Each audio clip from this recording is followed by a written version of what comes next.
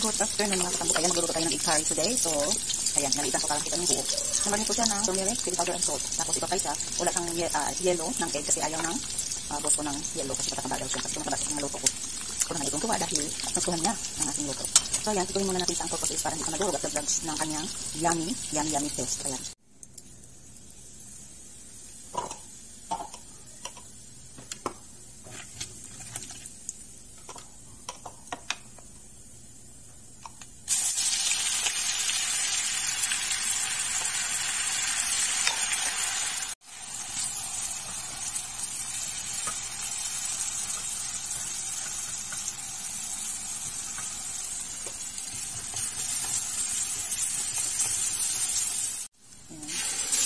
It. So, giniling ng kamatis.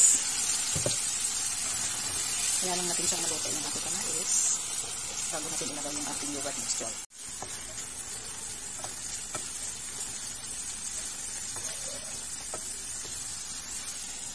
Ito ay uh, may turmeric, garam masala, chili powder, uh, coriander powder, cumin powder, and uh, yogurt. Ayan. So, lagay na natin. Data ko na lang sa mamaya. Gawa ng malaki na hawak ni Tata.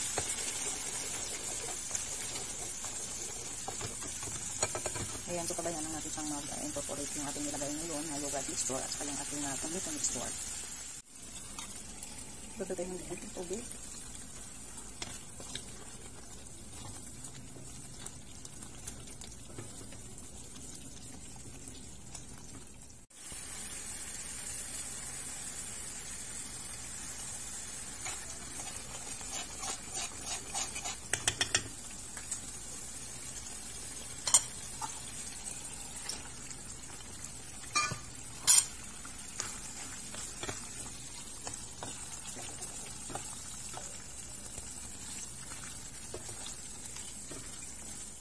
So, ayan, naglagay ako ng konting uh, coriander leaves and perigili para sa kardagang uh, flavor.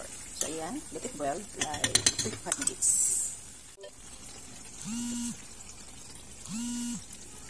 Egg curry is ready, guys. Ayan, good evening, good evening mga lahat ng mga katambok dyan. More, more, chop, chop, chop. This, this one is our Indian dish for today.